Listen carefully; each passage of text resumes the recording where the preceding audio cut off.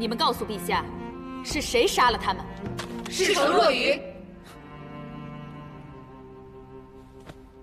请陛下以国法为重。陛下，此事还是交由大理寺依法处理吧。大人，我想问，以心律杀三人，当如何？死罪当决。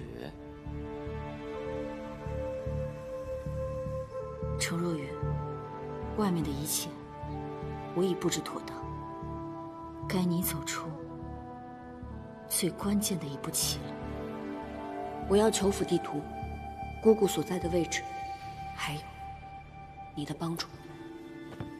那你就要全部听我的。你说，我会派严修跟着你，你潜入后尽量吸引程曦的注意，我让严修趁机救出刘弥沙。没问题。救出刘弥沙后，我会带他立刻去见齐燕，让齐燕亲自出马去求府救你。可是，裘子良不会听陛下的，所以，我给你找了一个护身符。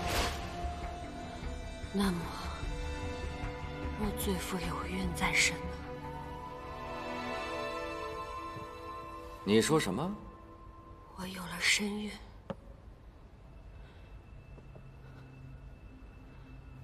按心律，妇人若犯死罪，当决；但若妇人有孕在身，当天产后，百日后行刑，是不是？什么？你有孕在身？对啊。您不信？不可能，这怎么可能呢？是谁的？是。